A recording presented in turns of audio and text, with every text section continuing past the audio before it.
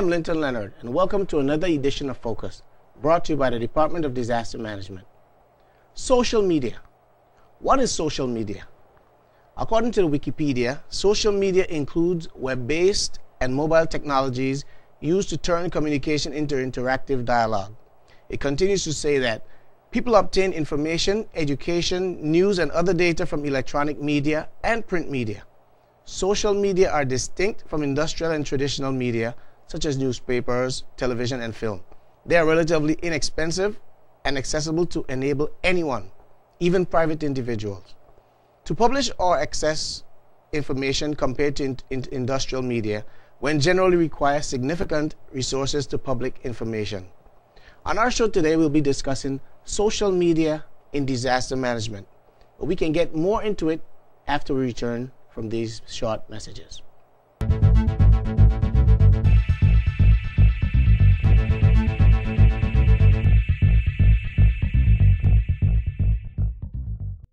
Knowing which information mediums to tap into is a very important part of being prepared. Throughout the hurricane season, preparedness tips will be aired on all radio and television stations. In addition, persons are welcome to log on to the department's website at www.bviddm.com for the latest press releases and weather releases as it pertains to impending weather. Please note that when there's an imminent threat to the BVI, the department's emergency page will be activated. Contained on this page will be releases, preparedness tips, and situation reports about the storm's impact on the territory. Help secure your family's safety by keeping abreast of changing weather conditions. The Department of Disaster Management is located at number 3 Wailing Road, McNamara. It is home to the government department responsible for the territory's overall disaster management program. Our mission is to reduce the loss of life and property attributable to disasters by ensuring that adequate preparedness and mitigation measures, response and recovery mechanisms are established to counteract the impact of natural and technological hazards. For all your disaster preparedness needs, feel free to contact the DDM at our new number 468 4200 to speak with one of our knowledgeable staff. That's 468 4200. Or you can visit our website at www.bviddm.com. The Department of Disaster Management, your life saving connection.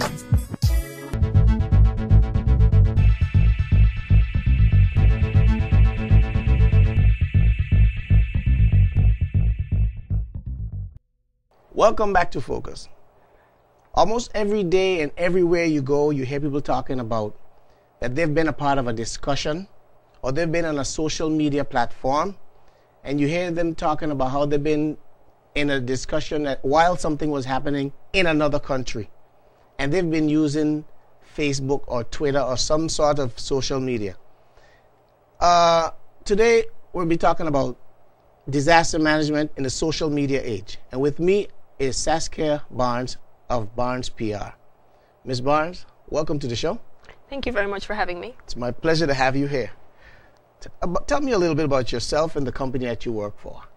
As you indicated, I'm Saskia Barnes um, of Barnes PR. I started Barnes PR boutique public relations firm in 2009. Prior to that, I was an information officer with Government Information Services, where I did have the opportunity to work with disaster management. Mm -hmm. I also worked with the Ministry of Natural Resources and, and Labor, I'm sorry, and lastly with the Water and Sewage Department. And in 2009, I leaped out into the private sector, and Barnes PR was founded.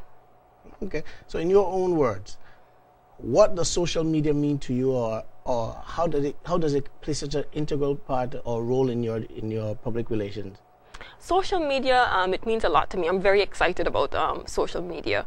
I think it's um, we're right now at a crossroads, or perhaps we've already crossed um, the road in terms of communication and information management. Mm-hmm. And social media really allows us to have a wider conversation where more stakeholders can participate in the mm-hmm. conversation.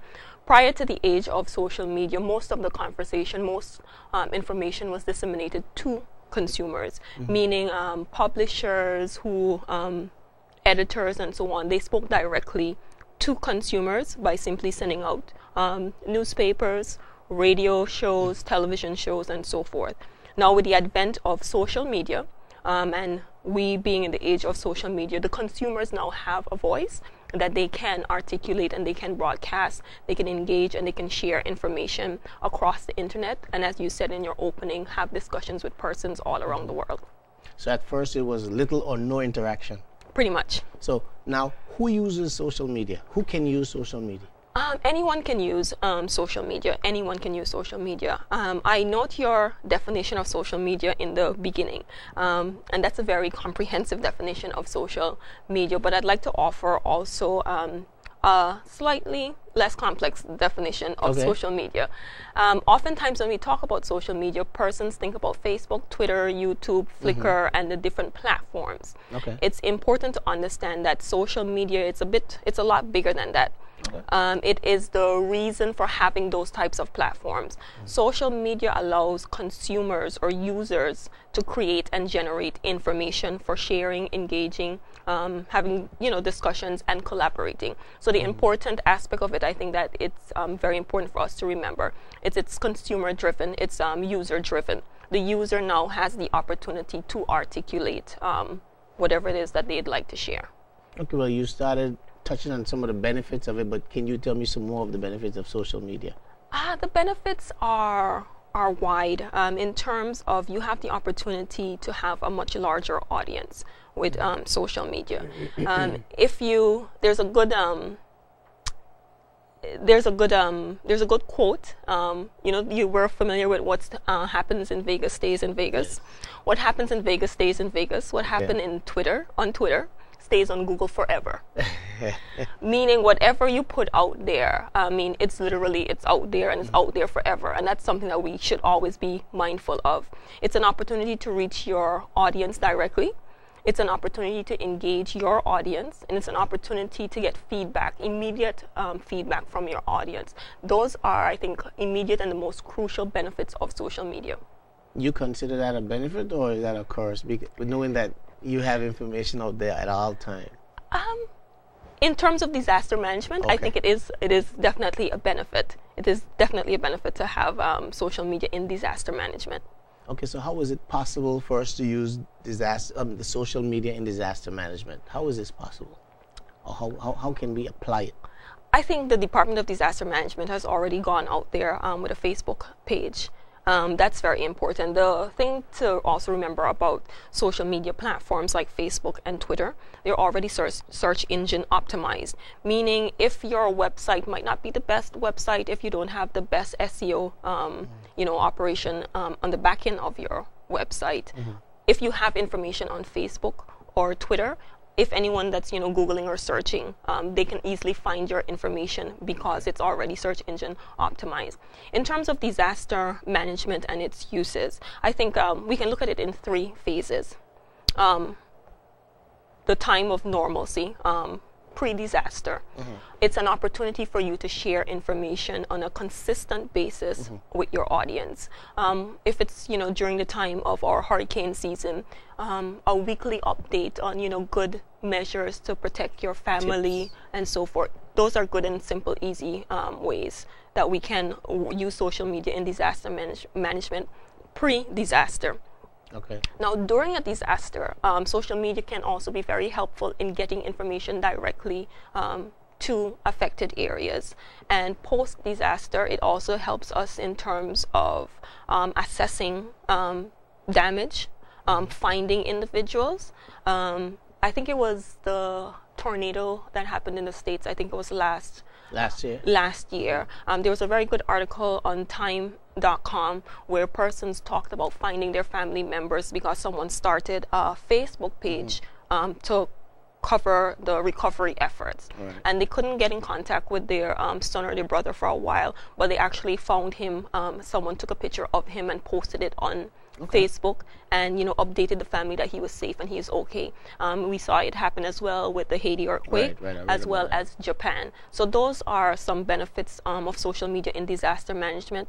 Pre-disaster, um, we can warn persons about the, the impending um, disaster. Um, during disasters, we can communicate with individuals in terms of you know what to do. Um, you know what's going on, Mm-hmm. the changes in in the weather, and post disaster in terms of recovery and trying to get information to the public and trying to bring the community back to normalcy.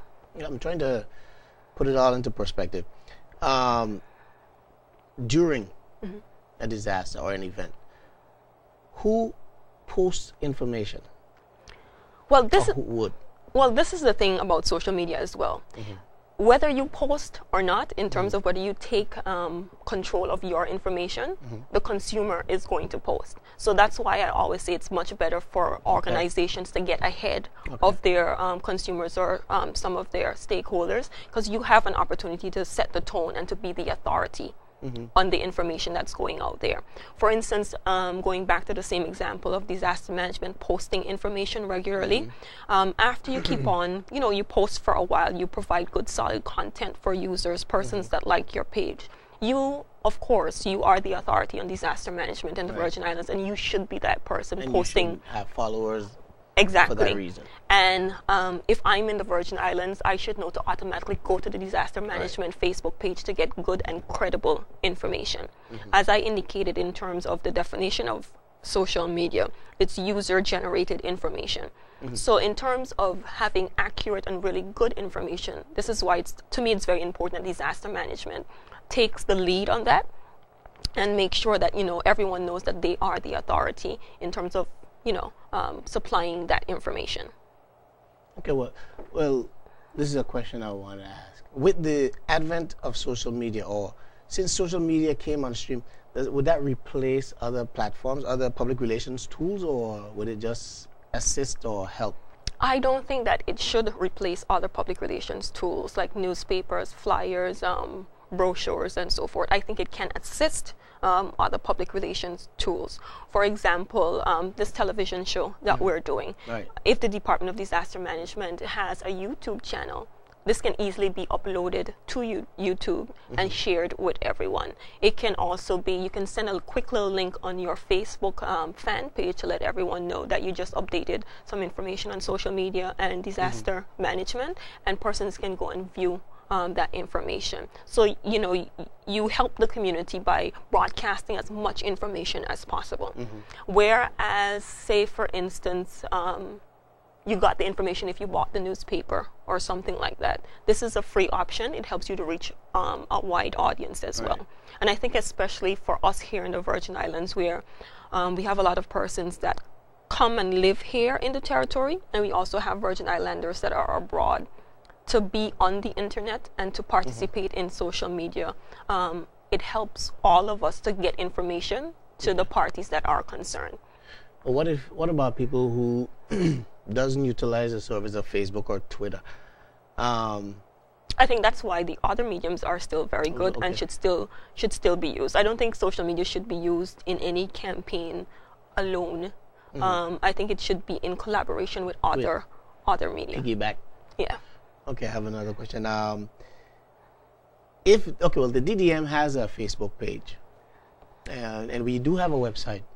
I like what you said that maybe what we should do is Link. link it or, just put a post out there and say that we just updated our website because uh, these shows are posted on the website. And so I think that's something we can utilize. Because I was going to ask you, how can disaster management, or how DDM can utilize the social media? So you have any other addition that you can assist us in? I think it, having the um, information on your um, website that's great, but I think perhaps if the department, um, I don't know if you have a YouTube channel, um, that would be good as well in terms of hosting all of those videos. Because the thing again is, if um, your website isn't really um, isn't it, the SEO on your website in terms of persons being able to easily find it, um, they can easily find a YouTube video. Um, you can tag um, your videos, British Virgin Islands disaster management, and so on. So it really opens up um, to your audience. And again, I think that's very important. Um, say, for instance, you know, your mom living in the States and you're here in the Virgin Islands for five, six years or something like that, so that they too can be well informed of what's going on in terms of um, disaster management and the way that um, we're handling and managing all of that in the territory.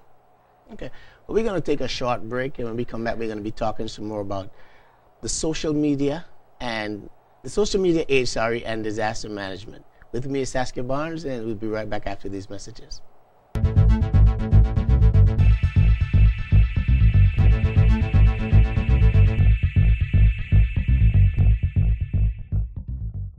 The Department of Disaster Management is located at number 3 Wailing Road, McNamara. It is home to the government department responsible for the territory's overall disaster management program. Our mission is to reduce the loss of life and property attributable to disasters by ensuring that adequate preparedness and mitigation measures, response and recovery mechanisms are established to counteract the impact of natural and technological hazards. For all your disaster preparedness needs, feel free to contact the DDM at our new number 468 4200 to speak with one of our knowledgeable staff. That's 468 4200. Or you can visit our website at www.bviddm.com. The Department of Disaster Management, your life saving connection. Knowing which information mediums to tap into is a very important part of being prepared. Throughout the hurricane season, preparedness tips will be aired on all radio and television stations. In addition, persons are welcome to log on to the department's website at www.bviddm.com for the latest press releases and weather releases as it pertains to impending weather. Please note that when there's an imminent threat to the BVI, the department's emergency page will be activated. Contained on this page will be releases, preparedness tips, and situation reports about the storm's impact on the territory. Help secure your family's safety by keeping abreast of changing weather conditions.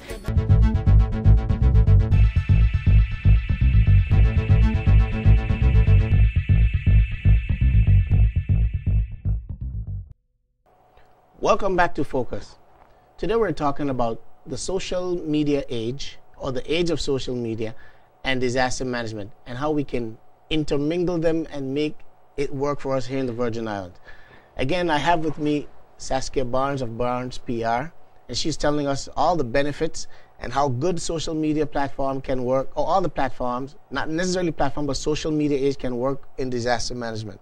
I have a question for you. Um, if you were to give a scenario for better understanding of how social media can be used during an emergency situation, can you give us a little uh, a little situation or a little just so we can get it a better picture of how we can utilize it? Sure. I think it was, um, it perhaps were, we had some serious rains. I think it was in 2010. Yes. I believe it was 2000. October. October 2010.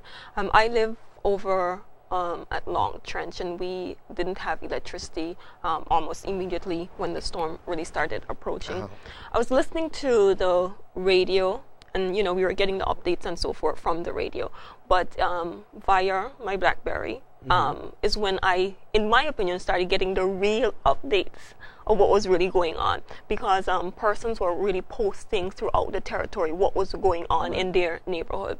Um, it's when you know when you actually see a photo of the water that was coming down through Purcell you really realize um, the magnitude of the situation. Because I'm up on the hill, yes, the wind is blowing and so forth and so on, but to actually see um, the water gushing out, I am not supporting persons going out um, in the middle of disasters to take photos or anything like that.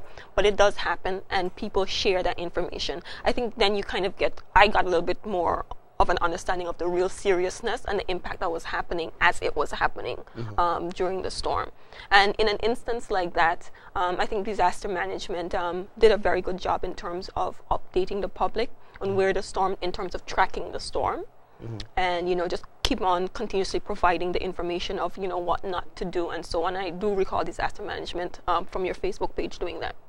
Yeah, um, I I know, like I mentioned earlier, that DDM does have a Facebook page, but in compare, I think two of the most popular social media platforms are like Facebook and Twitter. Mm-hmm. And I know they're powerful tools where everybody uses them. They're up to the minute, and you can, if you watch Sports Center or TNT, the, the sports stars. As it happened, they're, they're, tweeting and then it goes up right away. Um, and that, that shows how how how magnificent or how powerful it is. But um, let me give you another example as well. Yeah. It is in Disaster Digest, um, the 2011 edition of that Disaster Digest. Uh-huh. Um, I can't remember which earthquake um, it was in San Francisco, And um, in the Twitter office, they started getting all of these feeds um, coming in um, earthquake. Um, persons were just hashtagging earthquake, and then the topic earthquake started trending, and they couldn't figure out why it was starting to trend. They couldn't figure this out, and like 10 minutes later, they started um, having the office started shaking. So, miles south of their office, the earthquake had already started, and then the earthquake traveled. Um, but persons were getting the um, were you know disseminating, letting persons know that the earthquake just happened in such and such town, and the USGA Y- yes. yeah, they always USGS. They always send out information um, almost as it happens. Right. So Real that's time. yeah. So if you are on Twitter or you are on Facebook, um, and that's largely how most persons get their information or get their news now. No one is really waiting for you know you can't wait for the weekend paper Right, right. or the evening news and so on. So I think it's it's very important um, for businesses, but particularly disaster management, to really you know get on board with social me- media. It really assists um, residents in terms of getting information. Okay, and I, I was saying earlier, I, we do have a Facebook page, um, and I'm not advertising for Facebook or Twitter, but in your opinion or from your own experience, which one would you think would be more effectively used for for um, disaster management? I think, um, based on the dynamics of the Virgin Islands right now, Facebook it would be um, the better option. Okay. Um, in terms of we have most of the population that's on Facebook. Um, there are particular pages um, that were created in the territory by different persons that are extremely popular. Um, so I think that would be the better platform for um, disaster management. And I, I can also attest to the fact that we have followers from all over the world, and we get friend we get friend um, requests every day, all day, and so I am sure that it is very important what you put out there as well, because as you say, it, it, What you put out there stays there forever. Okay. So so now I want to know a little bit more about Facebook or Twitter and if you know anything about the history of them and what they were intending to do, whether it was just supposed to be something for friends to communicate or if this is the purpose it was made for.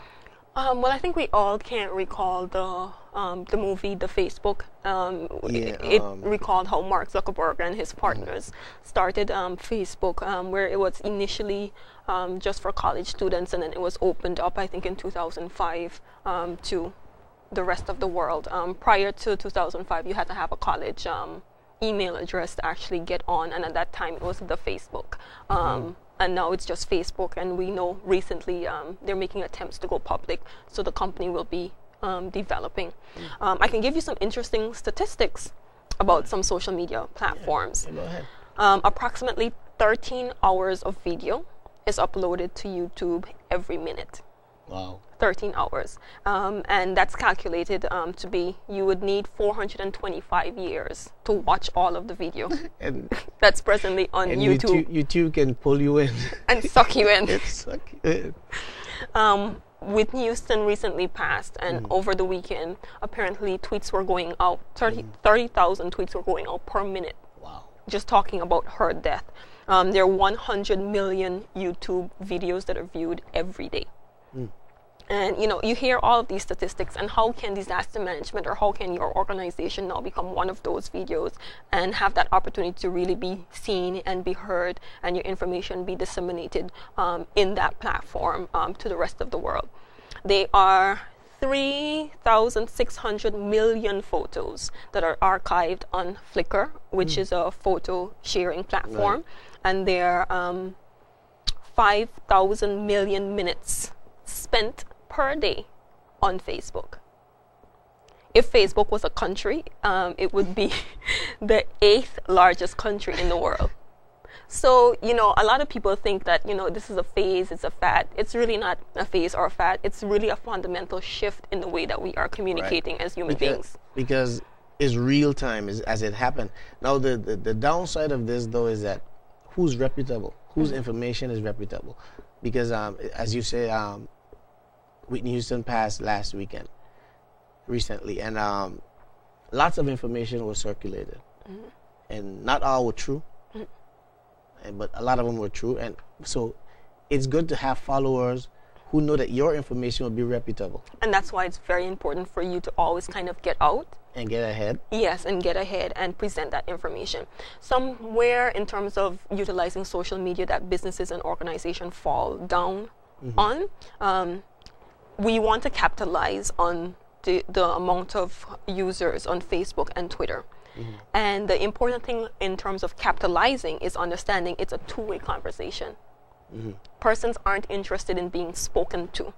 You have Right. to really engage users um, in order to keep them um, with you and to make sure that they're following you. So you always have to find good and creative ways to engage users. If you're not doing well, the Department of Disaster Management doesn't handle um, some disaster well, you're going to hear about it immediately um, on Facebook.